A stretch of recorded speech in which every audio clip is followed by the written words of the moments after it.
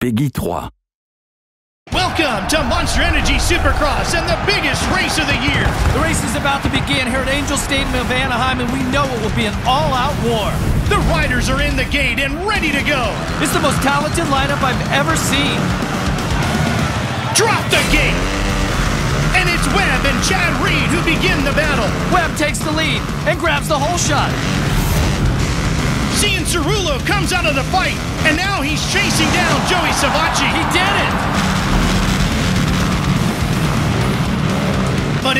Dungey, and he's closing on Roczen. Dungey never lets up. He always keeps the pressure on. No holds barred for Hill as he overtakes Forkner. He slammed everyone and is now leading. They're bar to bar, and the duel has begun between Webb and Musquin. It's the last lap.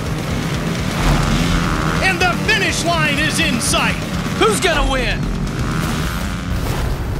Monster Energy Supercross, the official video game.